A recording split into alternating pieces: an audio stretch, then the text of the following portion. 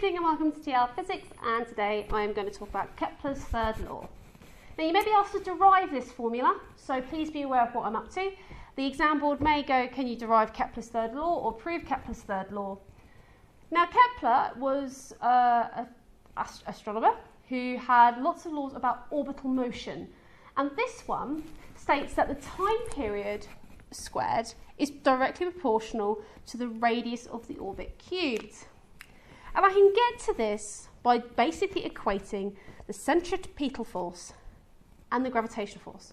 Now, this idea that gravitational force is thing pulling it towards the centre of the mass and it's orbiting around that is a mixture of circular motion and um, Newton's law of gravitation. So if I take this idea that F equals m omega squared r and F equals G big M little m over R squared. So I'm going to make these two equal. I'm assuming that the centri centripetal force causing the rotation is also the Newton's law of gravitation. So M omega squared R equals G big M little m over R squared. As you can already see, the little m's are affected, so this is important. The mass of the actual um, thing that's orbiting doesn't actually matter. Um, and I end up with omega squared r cubed equals gm. So I'm actually quite close at the moment because I've got my r cubed, but I haven't got my t squared. So I'm going to replace the idea that omega is 2 pi over t, and I'm going to end up here with 4 pi squared over t squared r cubed equals gm.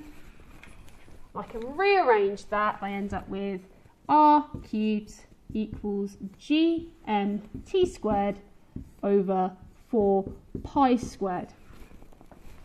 As you can see here, these things here are constant for that system.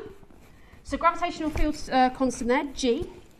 Uh, so that's the gravitational constant, 6.67 times 10 to the minus 11 that m here would be constant for that system. So in case of the Earth system, it would be the, the 5.98 times 10 to the um, 24. If we were looking at the star, things orbiting the sun, it would be the mass of the sun. Random uh, star in the sky, we could work out its mass looking at its luminosity, etc. 4 is constant, and so is pi squared. So what I've ended up here is I've got r cubed equals a constant, I'm going to call that k, times by t squared which is exactly what Kepler said. Now, this derivation is quite quick, but may be assessed in the um, exam itself. So, you literally are just assuming that the centri centripetal force is caused by Newton's law of gravitation, and you're just making those two formulae equal.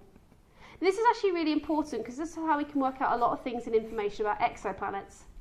We can look at this um, we can look at a planet um, orbiting, we can look at its time period, okay, and if we can work out the mass of the system, the mass of the thing that's causing the field, so the star in the centre, and we can make assumptions about that looking at, spect- uh, looking at its spectra and see where along in the star um, the spectra and its luminosity and working how far away in its lifetime it is.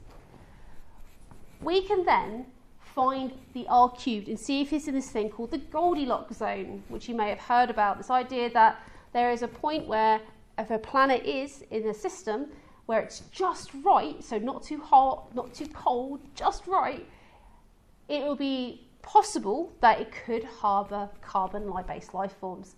And this is one of the big things at the moment in physics. We're looking at um, this Goldilocks zone and finding these exoplanets that we're able to find here.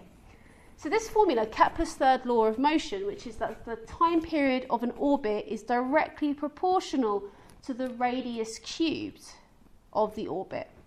Okay, and I'm using the idea of circular motion and Newton's law of gravitation there, and I get this formula here, which is important. Okay, so you may be asked in an exam to derive this, or you may be asked to prove that this is true with sets of data. So you may be asked, you may be given loads of radius data, and time data, and you'd be asked to say, is this true? And what you are doing, you would have to find this constant for each value, And if that constant was the same for all three, this holds. So that is Kepler's third law of motion.